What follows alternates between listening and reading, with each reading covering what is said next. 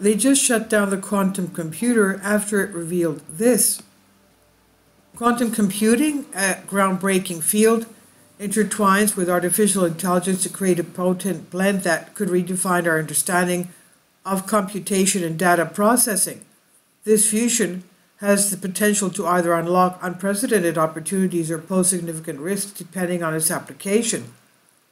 Quantum computers leverage the principles of quantum mechanics utilizing quantum bits or qubits, which can represent information as both zero and one simultaneously.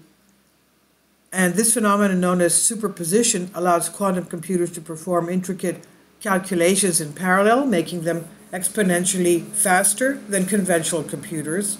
Another concept, an entanglement, enables qubits to be correlated even when physically separate, enhancing their computational capability. The journey towards quantum computing began in the early 20th century with the advent of quantum theory. Pioneers like Max Planck, Werner Heisenberg, and Albert Einstein laid the groundwork, but it wasn't until the 1980s that the idea of quantum computing took shape. Researchers like Paul Benioff and Richard Feynman proposed using quantum systems for computation, harnessing superposition and entanglement. The intersection of AI and quantum computing.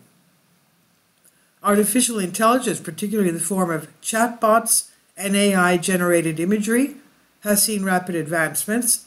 However, these technologies come with inherent risks, such as the creation of deep fakes and potential biases in law enforcement applications.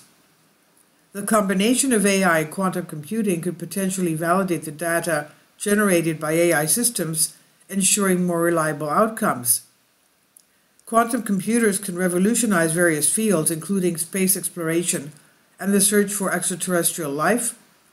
Their ability to process vast amounts of data simultaneously can aid in analyzing astronomical data, identifying habitable exoplanets, and even deciphering complex extraterrestrial communication. In the realm of cryptography, quantum computers pose a double edged sword. While they can crack traditional encryption methods, potentially jeopardizing data privacy and financial stability, they can also pave the way for quantum cryptography, ensuring secure, eavesdropping proof communication.